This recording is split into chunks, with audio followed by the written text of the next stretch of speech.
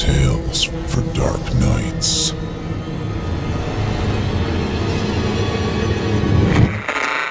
Want to make sure you never miss a Chilling Tales for Dark Nights video again? Be sure to subscribe and hit that bell to turn on notifications.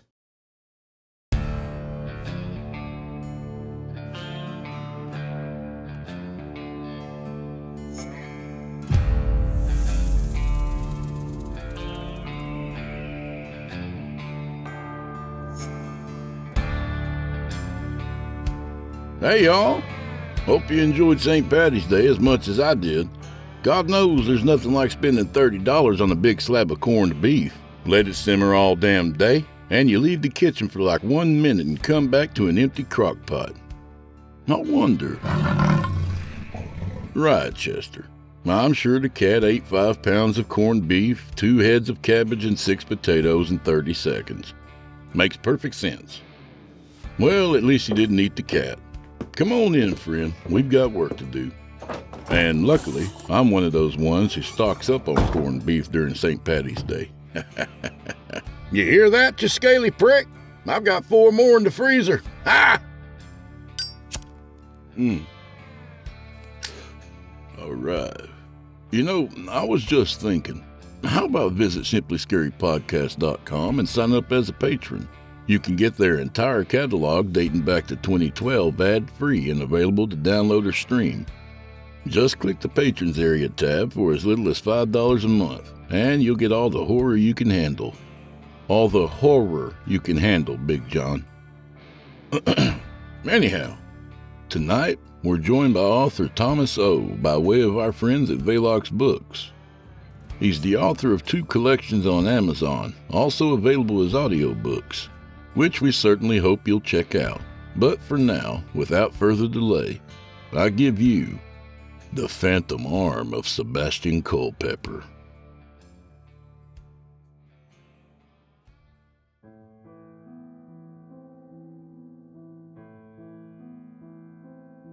I have two stories I want to tell. In each one, the main character is missing an arm. Other than that, both of these tales are quite different from one another. Yet I can't seem to separate the two in my mind, as they seem to complement each other in peculiar and disturbing ways. Our first story, the much shorter of the two, was passed on to me by my father. It starts in 1910, and it goes like this.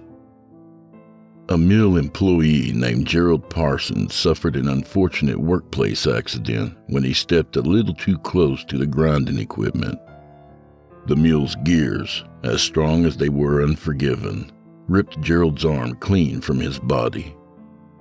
Surprisingly, he not only survived the accident, but he lived another 40 years, working in that same mill until the day he died of natural causes. Beginning shortly after his death, if you're prone to believing the rumors, the ghost of Gerald Parsons could sometimes be seen walking the floors of the mill. In addition to the sightings, there exists a fuzzy photograph from 1965 that purportedly shows his eerie form walking through the grinding room. Not too long after that picture was taken, the mill was torn down Shortly after that, Gerald Parsons' existence became one based only on the memories of others, as his ghost was never seen again. Now, here's the most interesting thing about this story. All of the eyewitnesses who saw Gerald's ghost claimed that he had two arms. My father was one of those witnesses, and he too swore that on the night Gerald appeared to him, both of his upper limbs were intact.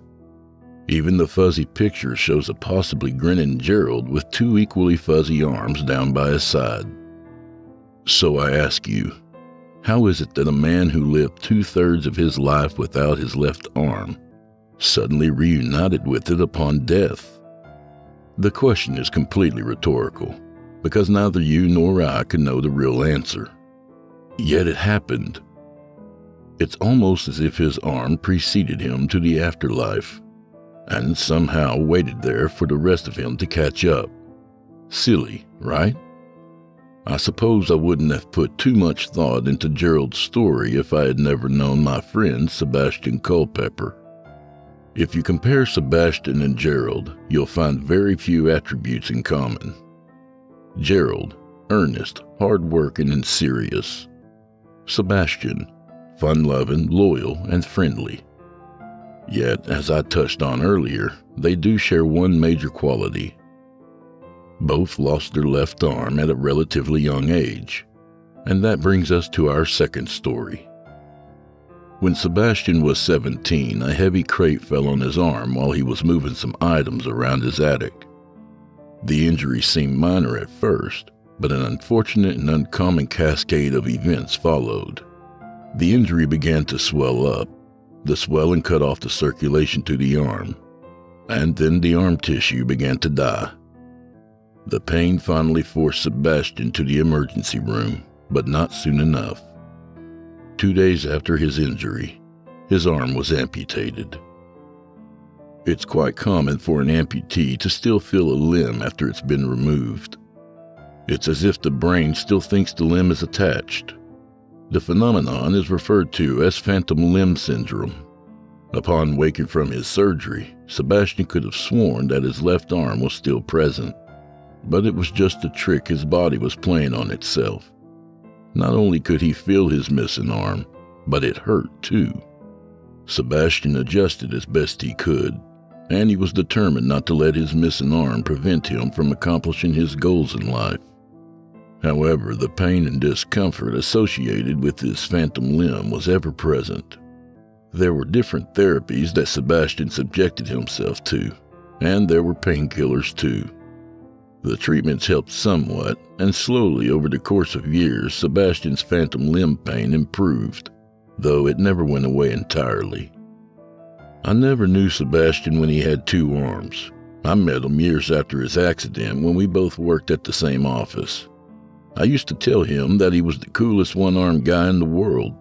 The clients loved him, and he always got a laugh by going to shake their hands and then acting like he didn't know where his arm had gone off to. Corny, yes, but somehow Sebastian made it funny every single time. The bosses all adored him too, and I can't really think of anyone who didn't like him.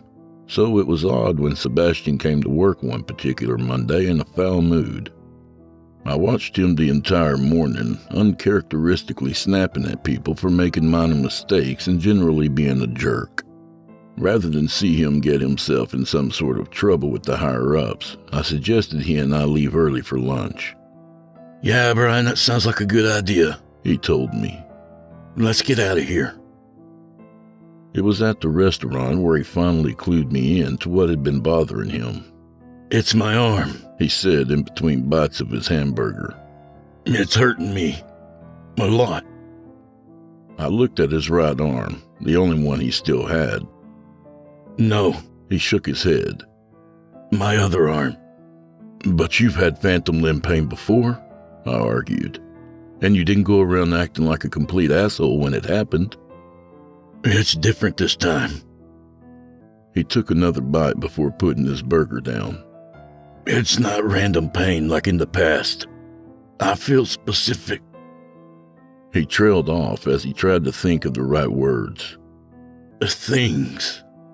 Things? I asked. I don't think I know what you mean. When I was younger, the pain was always generalized. It started here. Sebastian pointed to where his left forearm should have been. Then it moved up towards my shoulder. But now it feels like there's something sharp stabbing me. I tell you, it's very specific. It's not like anything I've felt before. He sighed and looked right at me. And it fucking hurts. Even though I'd clearly heard him, I still sought some clarification. You're talking about your missing arm. It feels like it's being stabbed? Yeah, stabbing, cutting. It's like someone's trying to torture me. Do you feel it right now? He shook his head no. Usually it starts around 6 p.m and goes for about half an hour or so. It's been like this for the past few days. I wasn't sure what to tell him, but I wanted to be supportive of my friend. Hey, the Lakers are on tonight, I told him. I'll head over to your place around 6 and we can watch together. He had a distracted look on his face, as if he hadn't heard me. Hey, I prodded. I'll bring the beer. Sebastian's stern face broke, and he gave a small smile. Sure, man. Sounds good. I got out of work late. Sebastian had gone home early at my suggestion, so I finished up some of his loose ends. By the time I got to my house and changed clothes, it was already nearing six o'clock. Traffic took up more time, and the line at the convenience store was anything but convenient. As I arrived at his apartment complex with the beer in hand, I cursed myself for not getting there sooner. I bounded the stairs up to Sebastian's apartment two at a time. When I knocked on his door, there was only dead silence from the other side. I waited a minute, then let myself in with a twist of the handle. Sebastian was lying silently on the couch. His eyes were scrunched shut, and trails of wetness on his cheeks gave evidence of the tears that had run down his face moments earlier. Sebastian, you okay? He nodded silently, not to say he was okay, but to acknowledge my presence. I put the case of beer on the coffee table and stood by awkwardly. He finally spoke to me. I'm scared. It feels like the skin is being pulled off my arm. A scream erupted from his mouth as he rolled off the couch onto the floor. I stepped forward to help him, but he waved me away. I'll go grab you a Percocet, I said as I changed direction towards his bathroom, where I knew he kept his pain medication. No, I already took a couple. They aren't helping. With nothing left to do, I stood and waited helplessly as my friend struggled with his pain. For 15 minutes or more, he grimaced in agony, occasionally screaming out. Eventually, I could see a look of relief spread across his face as the pain ebbed. It stopped. Maybe the Percocet worked, I ventured. No, he responded. I think whatever it is is done for the night. Sebastian got back onto the couch and motioned for me to sit down with him. Man, it's the craziest thing, he continued. When I'm in all that pain, it feels like sometimes there's a hand grabbing onto my phantom arm. He paused for a moment after seeing my face, which must have had a strange look on it. Hey, thanks for coming out tonight. It's nice to have someone here. Yeah, no problem, Beth. Have you seen a doctor about this pain? Not since this weird shit started, but I don't know what else they can do for me that they haven't already tried. He reached for a beer and opened it before picking it up. Then he took a good long drink. He wiped his mouth before continuing. I looked it up online to see if anyone else has experienced pain exactly like this, but I couldn't find anything. I stayed with Sebastian for a couple more hours. We just talked like good friends do. It took his mind off of what he was going through. On my way out for the night, I told him that I would be back the next evening and that I would try to get there earlier.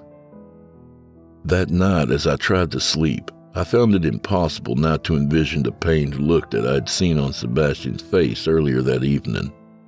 The situation simply wasn't normal, and it worried me. What was causing my friend such pain, how was it possible for such a long gone limb to have an effect on his current well being? Finally, after lying awake and pondering his situation for hours, I willed myself to stop thinking about it. As I faded off, the story of Gerald Parsons swirled in my mind for just a moment, then sleep. Work was busy the next day, and I barely had time to acknowledge Sebastian's presence at the office so I was glad when later that evening I was able to keep my word and arrive at his apartment 20 minutes before 6. Sebastian had already taken two Percocets in anticipation of what was to come, even though he seemed to believe they didn't help. I had brought Chinese food, which I put on his dining room table. As I pulled out the paper plates, I asked a question that had popped into my head as I had drifted off the night before. So, where do you think your arm is? A look of confusion spread across Sebastian's face. The arm they cut off? I don't know. What did they do with medical waste? That's not exactly what I'm talking about. I felt foolish for what I was about to say, but I think Sebastian already knew where my line of questioning was headed. I'm not talking about your physical arm. No, I mean, where do you think its spirit went? Sebastian managed to force out a meager laugh. I didn't think arms had spirits of their own. He didn't sound convincing, as if maybe he had already had this same conversation with himself. Knowing his fragile state, I tried to be gentle with my words. Well, maybe that was a bad way to phrase it. But what if it's still part of your overall spirit? And it's out there waiting for you somewhere? Sebastian laughed even harder at that. Don't laugh, I said.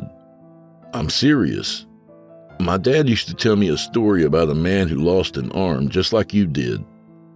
After he died, people saw its ghost and it had two arms. Sebastian sat down at the table. So you're saying that my ghost arm is out there, floating around in some nether region, just waiting for me to reunite with it? Well, it sounds stupid when you say it out loud like that. I was suddenly embarrassed by my idea. Not stupid. I appreciate the fact that you're putting some thought into this. But if what you're saying is true, then that would mean my arm is waiting for me in some place that probably isn't so nice. He faded off as the implication of what he was saying sank in. I shook my head and tried to change the subject. No, it was just a stupid thought I had. Sorry I brought it up. Your arm's not waiting for you. That would be ridiculous. Sebastian was silent. I could see that the idea was gaining traction in his thoughts. Finally, he looked at his watch. It's almost six. The pain came to him the same as it had the night before. Once again, I waited helplessly while my friend writhed in agony. Sebastian, in a tortured voice, was able to describe the pain as it happened. Stabbing sensations, bones in his fingers getting snapped, a sharp instrument slicing along the length of his arm, and something grabbing onto him. After some minutes of extreme pain, it seemed he was given a temporary reprieve. I don't feel any stabbing or breaking, he said. But I still feel warmth, like my arm's in some sort of really hot room. A new thought popped into my head. Why don't you try to move your arm? I asked. Maybe this thing works two ways. Maybe it won't hurt so much if you can mentally shift its position. What do you mean? His interest was piqued. How would I do that? Use your muscle memory. Just imagine that your arm is still attached, then act on it. Move your fingers or something. Sebastian nodded, indicating that he took the idea seriously. Personally, I thought it was a crazy idea, but it matched the crazy situation. I gave no credence to the fact that it might actually work. Sebastian closed his eyes and concentrated. Okay. I will wait until I feel something. Then I'll try it. We sat in silence as the clock seemed to tick endlessly. Sebastian was focused and ready. I twiddled my fingers, beginning to regret both the fact that I had made such a silly suggestion and that he'd bought into it. Look, Sebastian, maybe it's done for tonight. I was suddenly cut off by Sebastian's cries as the torture restarted. God! Motherfucking damn! The expletives flew from his mouth as he squirmed on the couch. It seemed like for just a second he had forgotten his plan of attack, but then he composed himself and gave me a nod. I could see the muscles of his stub flex as he made his motion. When I saw what happened next, I jumped from a sitting position and stood up on the couch, screaming out loud in shock and surprise. Sebastian had gotten launched from the couch. In fact, it looked more like he had been pulled off it. He landed on the floor face first, and then his whole body moved along the ground towards the other side of the living room. His stub was leading the way.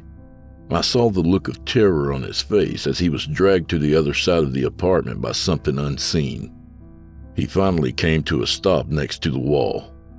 What happened? I asked between breaths. I grabbed it. I grabbed it. Sebastian was breathing too heavily to say anything more. I got off the couch and helped him up.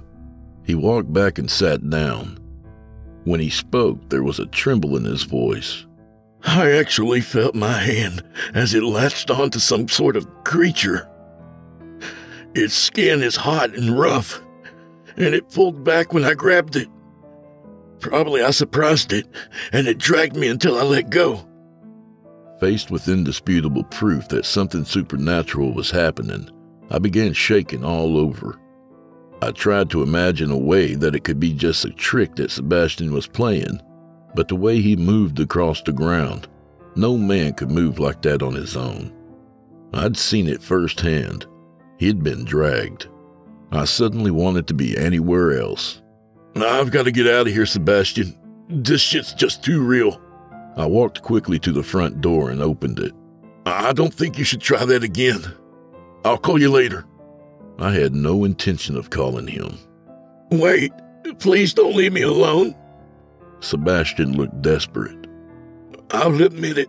I'm fucking terrified, Brian. Yeah, I am too. That's why I'm leaving. Just don't do that again. Take another Percocet and go to sleep. Everything will be all right. Even as I spoke the words, I knew they were bullshit. Fear was firmly in control as I walked out the door. I just wanted to be alone before yet another new reality reared up and dragged my friend across the room. I raced home, turning my phone off before I even got there. I tried to sleep, but the sight of Sebastian being dragged across the room by some unknown specter kept replaying in my mind. To say I got two hours of sleep that night would be generous, so I called in sick to work in the morning. That whole day I tried to keep busy. I watched television, took some naps, read a book, and did basically anything to keep my mind occupied. As the day waned, I began thinking more and more about Sebastian, despite my efforts otherwise.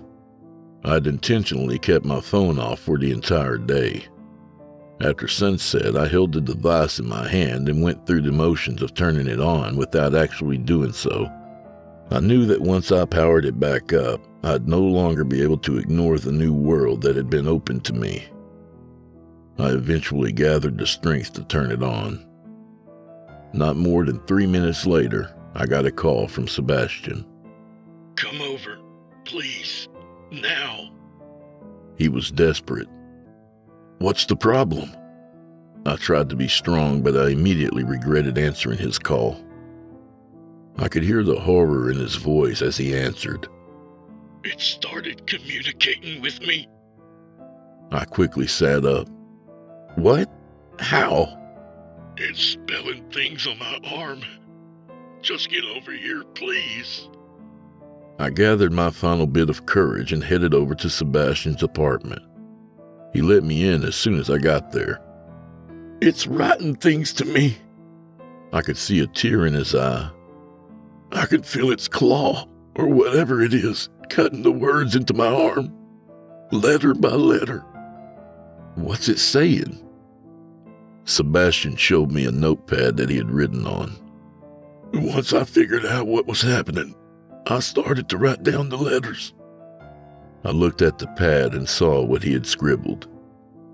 Death soon. Wait for you. Mine.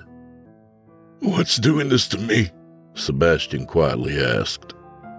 I don't know, but whatever it is, it can't spell for shit. Sebastian looked at me incredulously and hit the notepad out of my hand. Who cares if it's a bad speller? It's damn good at causing me agony.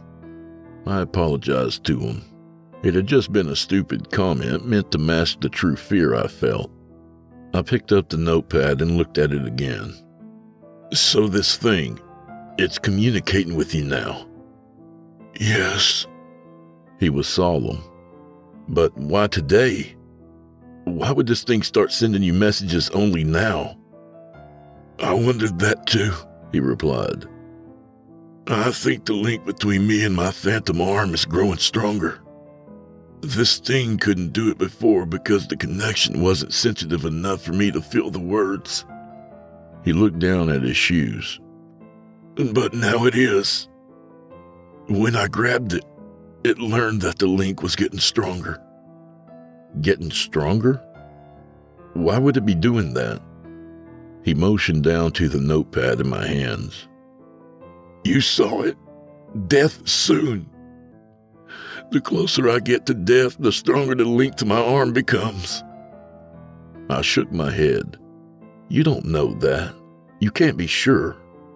But it makes sense, doesn't it? I nodded grimly. I couldn't think of a better explanation. Is it still talking to you? Sebastian shook his head. Not anymore. I think it's done for tonight.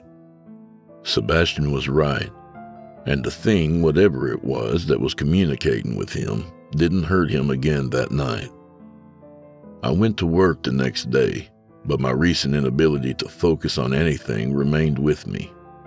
I'm sure I must have lost an account due to my distracted mind, but it didn't even matter to me.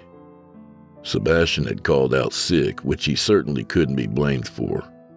I held off calling him during the day for the simple reason that I had no idea what to say to him. When work was done, I made the uncharacteristically bold decision to go straight to his apartment. If I went home, I knew I was unlikely to go over to Sebastian's ever again. I was scared, yes, but I knew that if I were in his position, Sebastian would never let me go through something like that alone. I picked up a pizza on the way over. When I got there, I saw a smidgen of relief grace Sebastian's face when he answered the door. He motioned me in with a sweeping arm gesture, then stepped into his living room and fell backwards onto the couch. I sat the pizza down on the table and offered Sebastian a slice as I picked up one for myself. He shook his head no. The room was quiet, except for the ticking of the clock and my chewing, which I was quickly becoming aware of. With the silence getting uncomfortable, I thought of something to ask. Sebastian, why do you think this is happening to you? He looked away from me. Lots of people who lose their arm have phantom limb pain. Yeah, but they don't get dragged across the room. I was shocked that he could somehow respond as if what he was going through was common limb pain. Sebastian didn't respond, and instead he nodded toward the clock on the wall. Six o'clock. He picked up the same notepad from the night before and placed it on the end table next to him. Then grabbed his pen. With his eyes closed and in deep concentration, he was ready to write any message that came through. The next couple of minutes passed by uneventfully, but soon I could see Sebastian visibly begin to struggle with the increasing pain. Beads of sweat formed on the side of his head as his breathing quickened. It's starting? I cautiously asked. Sebastian nodded. Yeah, and my head hurts too. A headache? That's new, isn't it? Sebastian nodded yes again, then screamed out. it's cutting into my arm! Even with the pain, Sebastian focused inward and began recording the letters that were being cut into his long lost limb. Hello, Bryn. I stared at the paper and then screamed as Sebastian marked the final N across the paper. Sebastian's pseudo trance was broken by my outburst. It's talking to me! I yelled as I pointed at the writing. Hello, Brian! Oh, fucking shit! I jumped away from the couch. How does it know my name? How does it know I'm here? I don't know, man. I'm sorry. I shouldn't have dragged you into this. Sebastian held his hand to his eyes as an apparent wave of pain pulsed through his head. That's it. I'm leaving. I grabbed my jacket and headed for the door. Wait, Sebastian pleaded. You ask why this was happening. It's about Carla Shavers. That's the only possible reason. I think I'm being punished. Who's that? I demanded with my hand on the doorknob. Just look it up later. I'm sorry it ever happened. He looked ashamed as the words left his mouth. I pulled the door open and took one last look at Sebastian. Please don't leave me alone, he cried. His left eyelid pulsed as he spoke. Tears streamed from his other eye. I'll call you tomorrow. It was the last lie I ever told Sebastian. I closed the apartment door behind me and walked quickly away. As I moved down the hallway, I heard Sebastian scream out. I walked faster. He wasn't at work the next day, nor did he call our supervisors to say he wouldn't be in. I turned my cell phone off just in case he tried to call me. I felt guilty about it, but I wasn't too far from having a breakdown of my own. I mindlessly went through the motions of my job. I didn't go see Sebastian that night.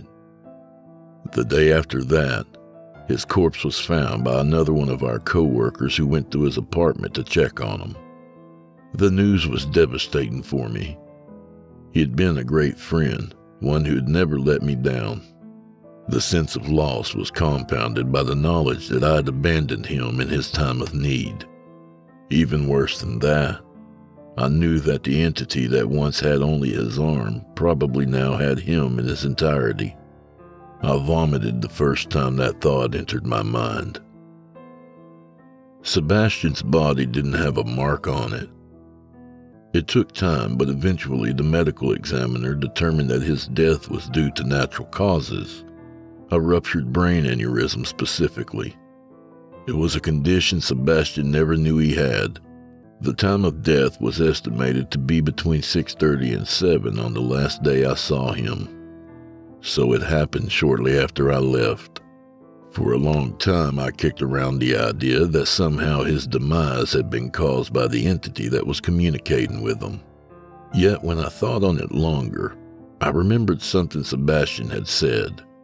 The closer I get to death, the stronger the link to my arm becomes. I came to the conclusion that his death truly was natural. That thing didn't cause Sebastian's death. It didn't have to. It just waited for him and had some fun with him while it did so. I completely forgot about Carla Shavers for a few weeks. When I finally looked her up, I found that she was from Sebastian's hometown, and she'd been missing for years. The last time anyone ever saw her, she was walking home from a late night party. There were very few clues about her disappearance, and she had been gone so long that most people in the town considered her to be dead. It was shocking to read about not because some poor girl had disappeared, but because of Sebastian's insinuation that he had something to do with it. I found it impossible to believe that the Sebastian I knew, with his amazingly friendly disposition, could be directly responsible for anyone's demise, but he had obviously felt guilty about something. I thought back to some of the conversations we had had about his youth, and I remembered him talking about the group of friends he ran with in high school, a time when he was less of a leader and more of a follower. Some of them weren't good people, and a couple of them were downright nasty. I ended up making peace with the fact that Sebastian had probably participated in something malicious. It probably wasn't his idea or even something he wanted to do, but nonetheless, he was present for it. At a minimum, he had information about a missing girl that he never shared with anyone. I contacted the police in his hometown and told them what I knew, which wasn't much, really. Still, it was a lead they could follow up on, when I reported it, I kicked myself for not knowing more. If I hadn't been so desperate to run out of Sebastian's apartment on that final night, maybe I could have gotten more information from him. I saw Sebastian in my dreams every night for months. Little devils with pitchforks would run all over his arms and legs, stabbing them repeatedly. Flames would shoot up around him and cook his skin. Help me, he'd scream. The dreams became more and more vivid until one day I finally woke up with a promise on my lips to try and help him. I drove to Sebastian's hometown, which was about four hours away. Through my research, I knew that Carla Shaver's parents still lived in the area. I called ahead and told them that I wanted to speak to them about their daughter, and I was greeted warmly at the door. Were you a friend of Carla's? They asked. I explained to them that I never knew Carla and that I was actually a friend of Sebastian's. The police had updated them on the case, so they were already familiar with the name. Then I told them that Sebastian, with his final words, had passed along his apologies for whatever part he had played in Carla's disappearance. It was clear they weren't ready to hear it. Thank you for coming out, Mr. Shaver said rather tersely. He was obviously struggling to be polite with me. If Sebastian was ever going to be forgiven, it wasn't going to happen on that day. I couldn't think of any other way I could possibly help Sebastian, and soon my thoughts turned inward. That thing, the entity, it said hello to me. Believe me, it's a very unsettling feeling to know that something so evil has made an effort to personally acknowledge your existence. I wonder if it'll be there waiting for me when I die. But maybe it was just having an easy laugh at my expense. Like so many other things associated with Sebastian's demise, I just don't know for sure. I've taken the time to carefully think back through all my sins. I know I never did anything as bad as Sebastian. Yet, when a friend needed me most, I just left him to die. I might have been able to save him. I for sure could have been there to comfort him when he passed, but I wasn't. He died alone and in fear. Some may argue that he deserved it, but for all I knew at the time, he was the same innocent Sebastian that he had always been, and there was plenty of good in him. I hope that my cowardly actions aren't enough to condemn me, and I hope that somewhere, somehow, Sebastian forgives me.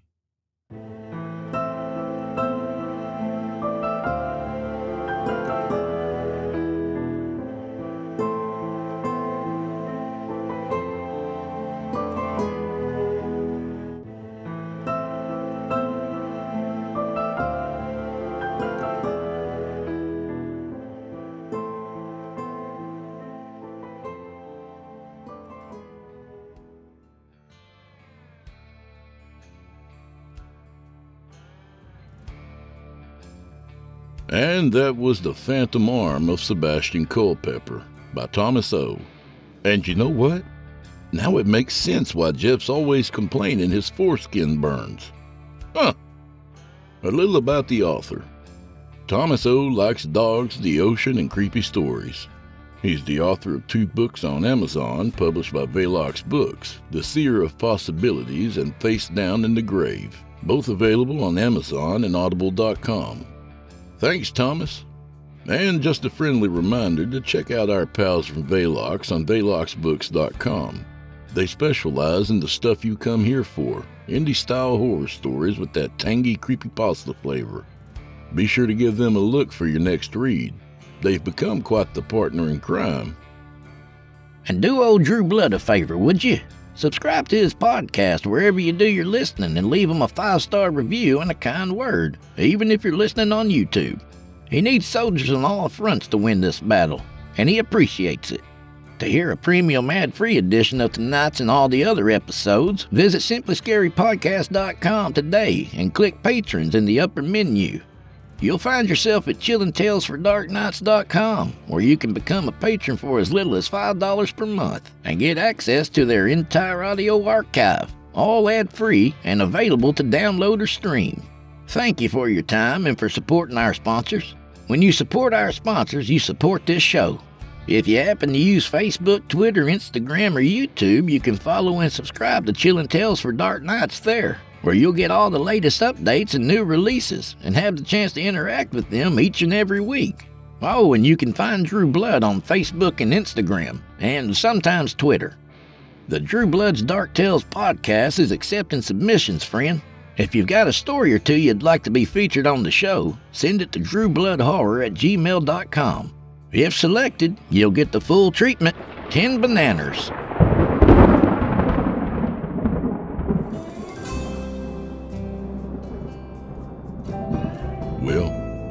Afraid this is where we part ways, at least till next week.